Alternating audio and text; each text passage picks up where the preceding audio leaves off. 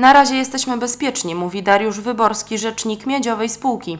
Co jednak, gdy upały nie odpuszczą, stan wód w rzekach się nie podniesie, a tym samym nadal odczuwalne będą braki w dostawie energii.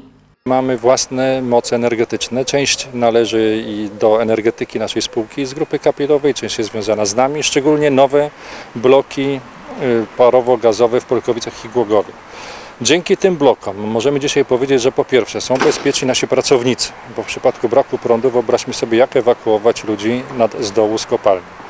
A drugie, jesteśmy bezpieczni technologicznie. Znowu odwołuję się do wyobraźni. Wyobraźmy sobie, co się stanie z piecem, w którym jest roztopiona miedź i braknie prądu.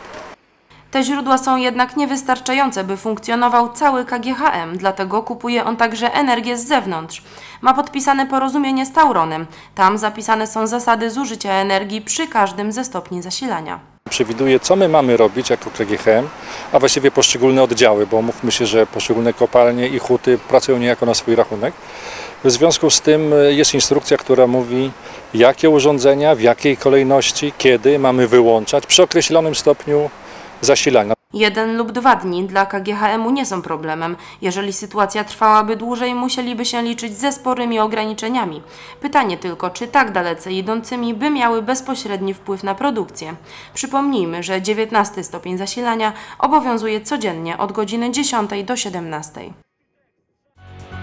Reklamacje i uwagi dotyczące funkcjonowania systemu gospodarki odpadami komunalnymi na terenie Gminy Miejskiej Lubin można zgłaszać pod wskazanymi numerami telefonów.